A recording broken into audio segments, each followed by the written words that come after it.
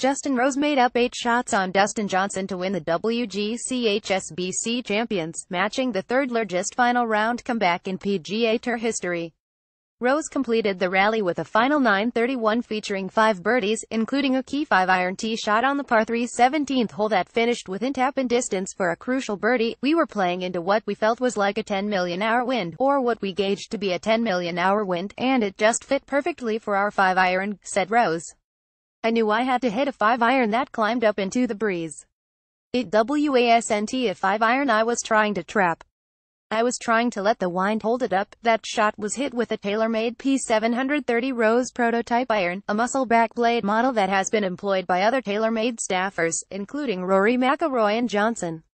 Rose's fine play over the final nine allowed him to finish T3 in greens in regulation for the week.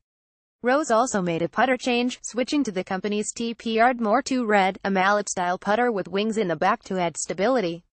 The putter features a 6061 aluminum version of TaylorMade's grooved face insert with the combination of the groove's 45-degree angle and polymer filling work to improve roll and feel.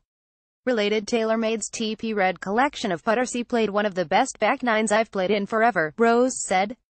To shoot 31 on the back to come through, I saved my best till last. The club's Justin Rose head in the bag at the WGC HSBC Championship Ball. TaylorMade TP5 driver. TaylorMade M1460-2017, 9.5 degrees 3 wood. TaylorMade M2, 15 degrees 5 wood. TaylorMade M1, 19 degrees irons 4 TaylorMade P795 Petawatts TaylorMade P730 Rose prototype wedges. TaylorMade milled grind 52, 56, 60 degrees sputter TaylorMade TP Ardmore 2, red.